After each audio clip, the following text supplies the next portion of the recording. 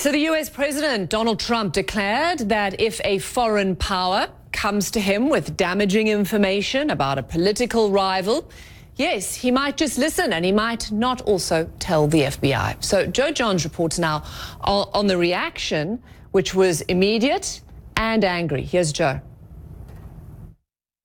If somebody called from a country, Norway, we have information on your opponent. Oh, I think I'd want to hear it. President Trump making a stunning admission, telling ABC News he's willing to accept damaging information from a foreign power about political rivals ahead of the 2020 election instead of immediately informing the FBI. I think maybe you do both. I think you might want to listen. I don't, there's nothing wrong with listening. The president also shutting down the idea that a foreign government like Russia or China providing material about his opponents is against the law. It's not an interference. They have information. I think I'd take it. If I thought there was something wrong, I'd go maybe to the FBI if I thought there was something wrong. But when somebody comes up with Oppo research, right? They come up with Oppo research. Oh, let's call the FBI. The FBI doesn't have enough agents to take care of it. Mr. Trump's words clashing with his own attorney general if a, a foreign, foreign, intelligence service, foreign intelligence service, a representative of a foreign government yes. says we have dirt on your yes. opponent, should they say I love it, let's meet, if or should they contact the FBI? foreign intelligence service does, yes. And his FBI director, who issued this warning last month. If any public official or member of any campaign is contacted by any nation state uh, or anybody acting on behalf of a nation state uh, about influencing or interfering with our election, then that's something that the FBI would want to know about. Trump saying he strongly disagrees. This is somebody that said, We have information on your opponent. Oh, let me call the FBI. Give me a break. Life doesn't the work FBI that way. The FBI director says that's what should happen. The FBI director is wrong.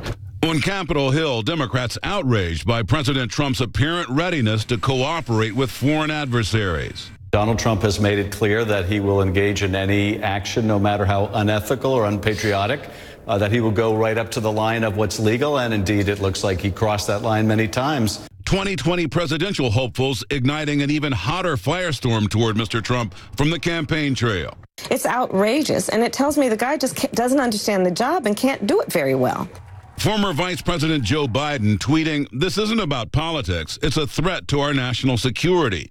Senator Bernie Sanders also weighing in, saying he's not shocked. I think we have a president who neither understands the Constitution of the United States uh, or respects the Constitution that was Joe Johns reporting there. So let's go to CNN national security analyst Samantha Vinograd. Samantha, great to have you on the show because I really, really want to get your take on this.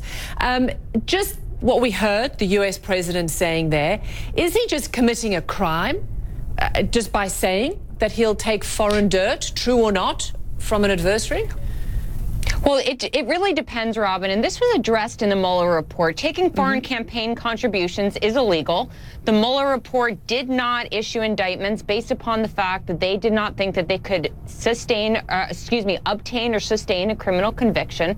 That's with respect to a uh, foreign contribution to a campaign. With respect to the counterintelligence angle of this, it depends. It depends wh- where and when uh, that that information comes from, and whether the person knows that it's being used to uh, undermine the national security of the United States. President Trump checks that box as the president of the United States. He has all of the open source information that's in the media and elsewhere right now, as well as the most classified briefings in the country. He knows better than anyone what our advers- adversaries are doing to undermine us and why they're doing it.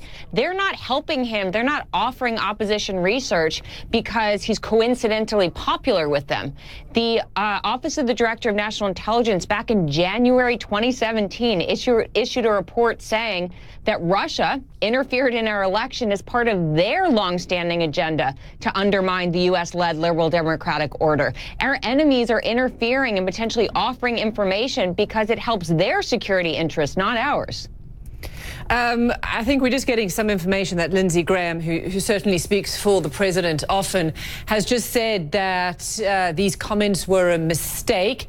Even if the president pulls back from them or the White House tries to uh, sort of spin these comments, either way, f- foreign adversaries or even just any old spy agency is going to see this as a green light. And that certainly creates, or does it, an uneven playing field ahead of this election. It certainly does. You know, Trump asked back during the 2016, 2016 campaign, Russia, are you listening? Russia was definitely listening to what he said last night, as well as every foreign intelligence service. What they heard is the president of the United States really condoning attacks on his adversaries, perhaps supporting them and saying that he would receive that stolen information. So at this point, what they have to do is attack any of the Democratic candidates. It's a very wide field. Offer up information. He's saying that he may use it. He is positioning himself as a foreign laundromat for stolen information. And so I don't think even if there's a walkback, I doubt there will be. We know he's not very mm. good at that. The Foreign Intelligence Services literally probably started working almost immediately when he made those comments. Um, and the point is also, this might not be true. If there is dirt, um, as we saw, misinformation, fake news, even these deep fake videos can all play into that. It doesn't necessarily mean this is genuine intelligence either. If, if right, it comes I mean, to Hillary, that. Hillary Clinton, and this is public information, was attacked in two ways, as were uh, Democratic servers, through um, cyber attacks and information warfare. So, as you point out, there are different ways that Russia attacked us in the 2016 election cycle. But guess what? It's been three years. They've had three years to up their game, as have other foreign adversaries who want to interfere. But at this point, Robin, in a lot of ways, their job is easier. Donald Trump is an open book when it comes to how he feels about his adversaries and how he chooses to engage in information warfare. The ability to manipulate what he says and the misinformation that he says is much easier at this point. I don't think that Russia has to try as hard during this election cycle.